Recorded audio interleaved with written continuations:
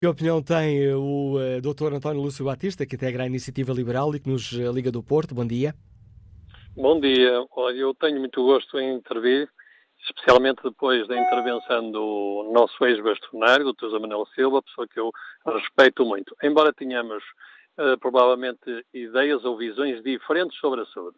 Indo diretamente a este problema das parcerias público-privadas e que realmente está aqui a ser apenas, isto é apenas uma migalha na discussão de toda a problemática dos serviços de saúde, eu diria o seguinte, ele, o Dr. José Manuel Silva pôs aqui o dedo muito bem na ferida, que é a gestão.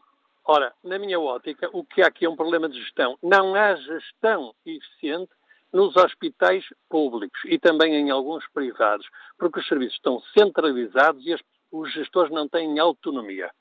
Perguntaram há pouco tempo quem, quem deviam ser os gestores nos hospitais públicos. São gestores de carreira, obviamente pessoas preparadas, e fizeram essa mesma pergunta a um professor eminente da Cleveland, que respondeu, eu acho que deve ser o gestor de uma hospital, deve ser um médico, porque é mais fácil ensinar gestão a um médico do que medicina a um gestor.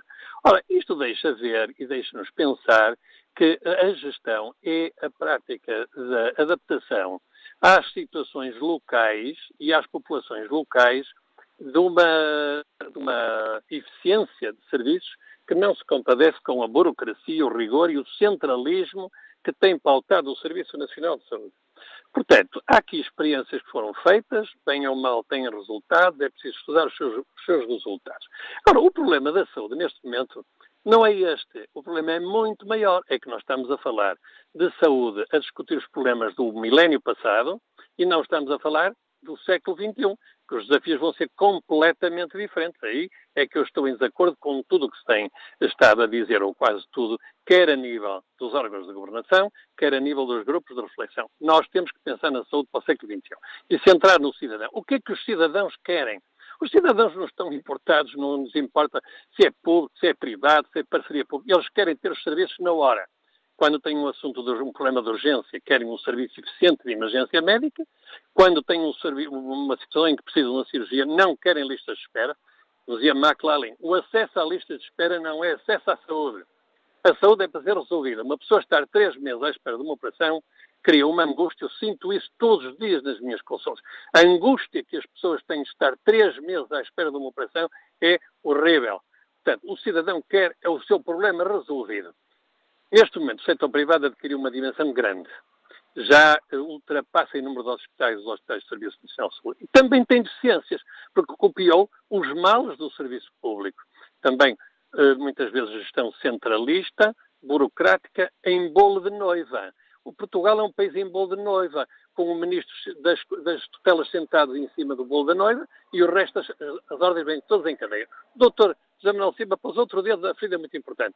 As pessoas estão nomeadas por questões políticas, ideológicas, por amiguismos, por familiarismos e não por competência. O mérito não é reconhecido em Portugal, quase em área nenhuma. É a mesma coisa nas universidades, é a mesma coisa em muitos outros setores e serviços. Portanto, o ser público ou ser privado é completamente irrelevante.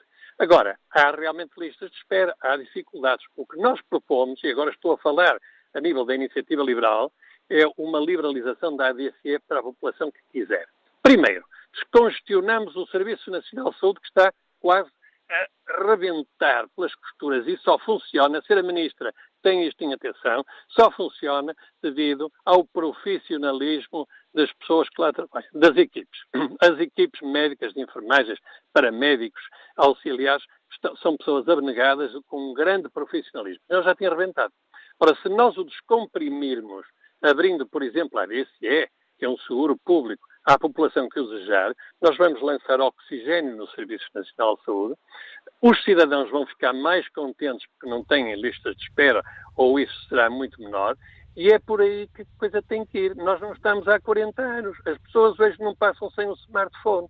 E o grau de exigência das populações é muito maior hoje do que era há 40 anos. E agradeço ao Dr. Lúcio Batista o contributo trouxe a este fórum. É médico, é representante de Portugal 2040 na Iniciativa Liberal.